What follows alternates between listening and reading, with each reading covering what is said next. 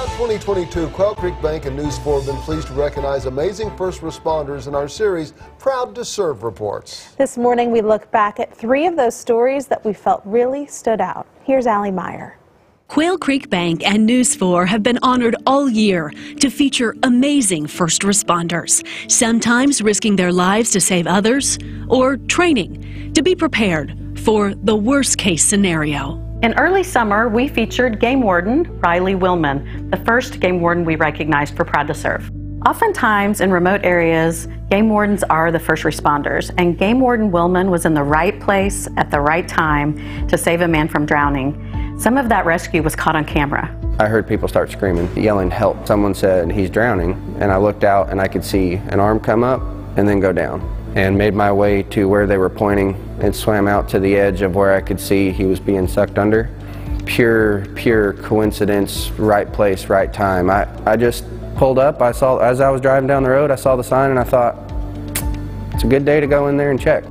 We also met an amazing rescue team, the Oklahoma City Police Department Lake Patrol Unit, who we met on the shores of Lake Hefner. The Oklahoma City Police keep busy protecting and patrolling our streets and neighborhoods, but you might not know they also have a team of officers who work in boats. During one night out on the water, the Oklahoma City Lake Patrol saved the lives of kayakers who drifted into danger during a severe storm. I'm going to throw this rope to both of you. To find all three of them and get them safely on board, uninjured, and back to shore, um, worn out and tired, but uh, uh, that's better than, than anything we could have hoped for heading down to the call. So. I also enjoyed visiting the Oklahoma City Police Department K-9 unit. It was amazing to watch the dogs and their partners work together and the bond that they create for a lifetime. These dogs are part of our highly trained four-legged police force within the Oklahoma City Police Department, working with officers trained to handle them.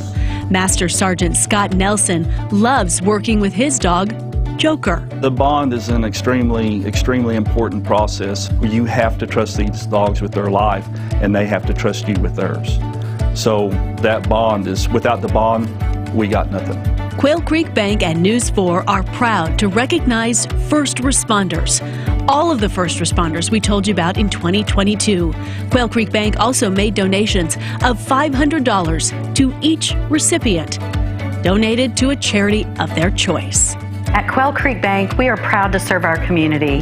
And in conjunction with News 4, we are honored to recognize all of this year's recipients. Thank you to all the first responders for helping keep our community safe. Great look back at those first responders. If you'd like to nominate a first responder and feel they deserve some recognition, go to kfor.com slash proud and leave us a short note.